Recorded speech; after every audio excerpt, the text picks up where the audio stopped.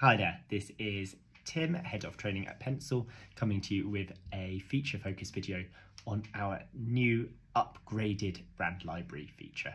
So getting your brand library right is really important for giving Pencil's AI models all of the information they need about your brand to really tailor your outputs to your look and feel and tone. I've just gone to our brand library and I've got an empty one here but you can see there's a number of different categories to be populated and over to the right hand side for each category there's an option to add new. Within each of these areas, that's an empty one, within each of these areas we have different types that can be populated. We can do this manually here or we can auto-populate some of the information there's two ways that we can do that. We can do that from a URL from a website, or we can populate the detail from your PDF brand book, either Google Drive or a file upload. I've got my brand guidelines here.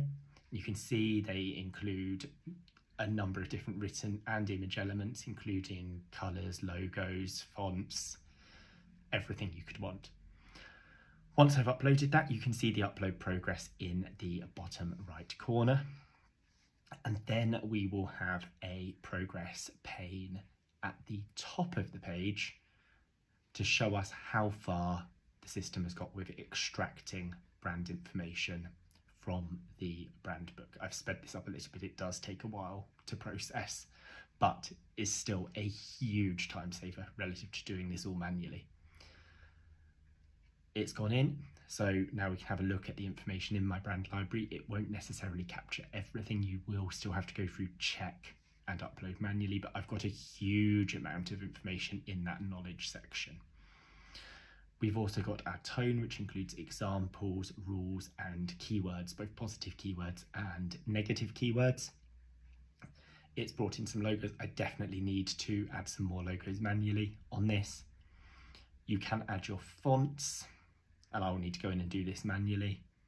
That's just an upload of the font file we can include brand colours and the system feeds from that a lot in generation of creatives and particular brand elements if you have any common visuals that you want to include in multiple ads.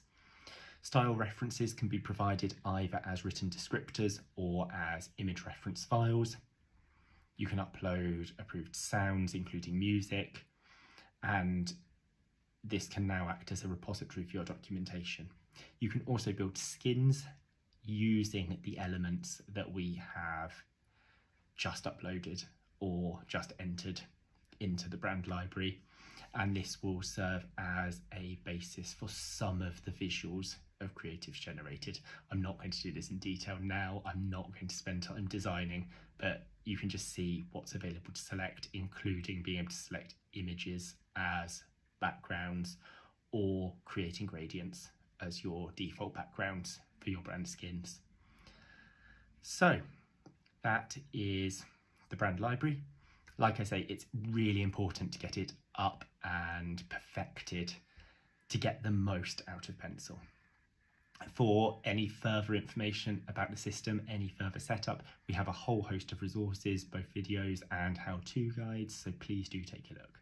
Thank you.